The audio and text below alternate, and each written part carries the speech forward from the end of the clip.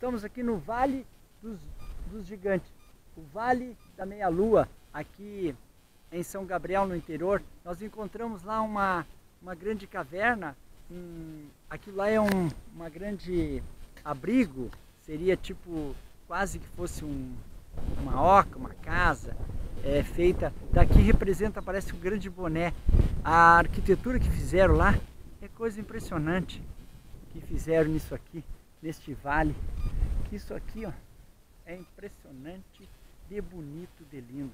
Nas aventuras do Borim aqui, nós temos com a equipe é, de pesquisadores conhecendo esse lugar aqui. Fantástico, é impressionante. Ok? Olha lá. Vamos chegar mais perto depois? Vamos chegar mais perto lá para aproximar.